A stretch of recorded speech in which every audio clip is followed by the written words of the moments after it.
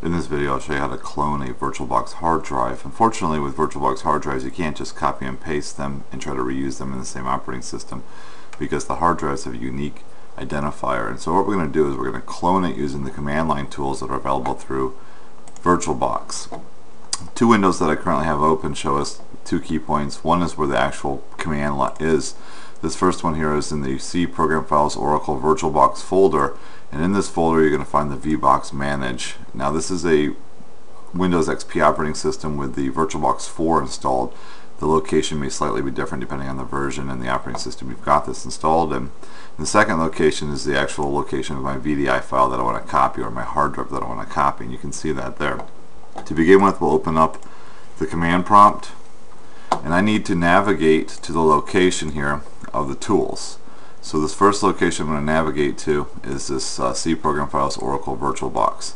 So we'll go ahead and type in cd space c colon backslash program files backslash oracle backslash VirtualBox and hit enter and now I'm in that location. This gives me the ability to use that tool now. So I can go ahead and type in vbox manage.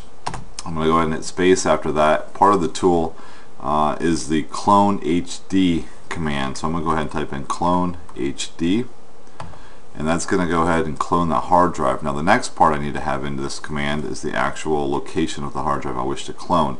So I'll hit space and it's important that you have quotes around this because if there's a space within the characters of the file path it will cause the program not to run correctly. So we're going to go ahead and put a start the double quote there, type in C colon backslash and then I'm going to need to fill in this location here.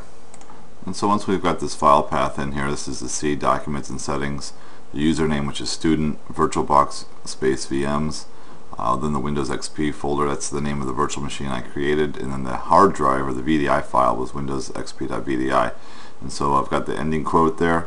I'm going to go ahead and space. The second part of this command is going to give us the location of the copy or cloned hard drive. And so I'm going to go ahead and just type in clone.vdi and it's going to indicate to me that that's my clone. You can name it whatever you wish. And I'll go ahead and put that in quotes as well. Uh, if there were any spaces within that name, you would want to have quotes around it. I'll go ahead and hit enter. And it's going to begin the process here of cloning this hard drive. Now I did not put a file path in this clone.vdi.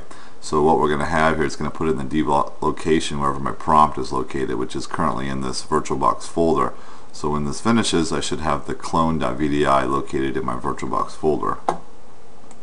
And now that it is finished, you can see that it has copied my hard drive. It's given myself a unique identifier, a unique, uh, universal unique identifier for the new hard drive. And we're going to go ahead and look for this hard drive. And there it is under the clone.vdi. So that was able to copy a hard drive using the command line tools to make a duplicate or a clone of the hard drive with a unique identifier to be used more than once within the operating system.